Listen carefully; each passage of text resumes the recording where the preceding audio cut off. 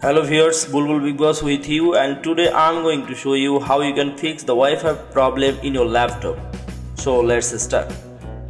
Here is my Wi-Fi and it says turned off.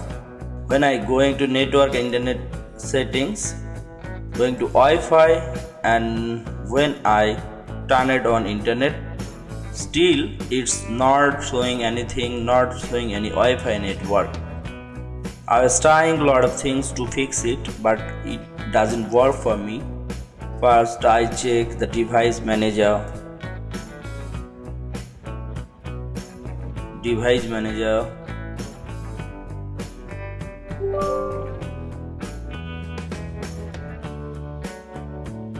And the network adapter has my Dell wireless.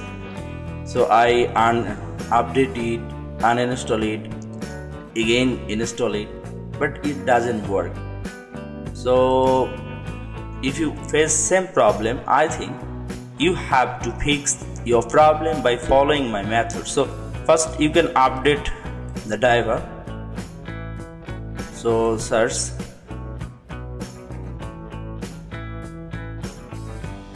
Uh, it's not so important but you can update it uh, if there is any update version of the, the for the wireless driver then it will be better.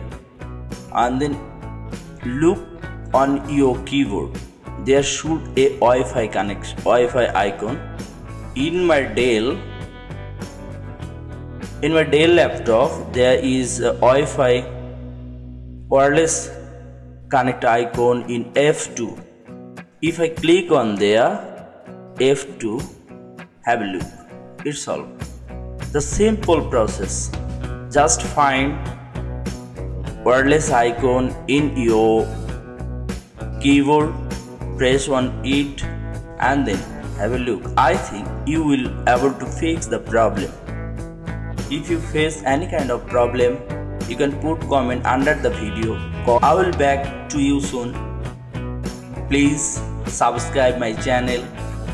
Please like and share my videos with your friends your colleagues or your relatives.